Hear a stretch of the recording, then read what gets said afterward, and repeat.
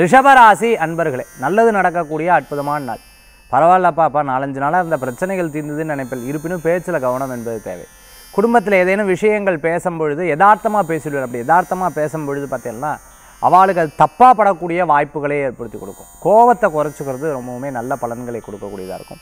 தூர பிரயாணம் வெற்றி பிரயாணமாக மாறும். இன்றைய தினத்தில் ஆஃபீஸில் போய் சில விஷயங்கள்லாம் ஃபைல்ஸை நீ வச்சுக்கோன்னு சொல்லிட்டு கொஞ்ச நாள் கழிச்சு திருப்பி கேட்கும்போது எப்போ கொடுத்தேன்னு கேட்டுருவா. அதனால் அவளுக்கும் யதார்த்தமான மறதி இருக்குன்னு மனசில் வச்சுக்கோங்க.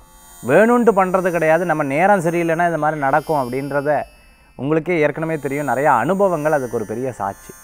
ரைஸ் மில் வச்சுட்டு இருக்கிறவங்க குடோன் வச்சுட்டு இருக்கிறவங்க அது மாதிரி கடை வாடகைக்கு கூட்டிருக்கிறவங்க இடம் வாடகைக்கு கூட்டிருக்கிறவங்க அனுகூல்யத்தை தரக்கூடியதாக இருக்கும் வாடகை பிரச்சனை இருந்துன்னு இருக்கிறவங்க இடம் மாற்றணும்னு நினச்சிட்டு இருக்கிறவங்க. என்னமோ சரியில்லை இந்த தொழில் வச்சுவிட்டேன் நஷ்டம் கையில் இருந்தால் போகிறதுன்னு வருத்தப்பட்டவங்களுக்கெல்லாம் மாறும். கவலையே பட வேண்டாம். இன்றைய தினத்தில் நிறைய நல்ல விஷயங்கள் நடக்கும். ரிஷப ராசி அன்பர்கள்.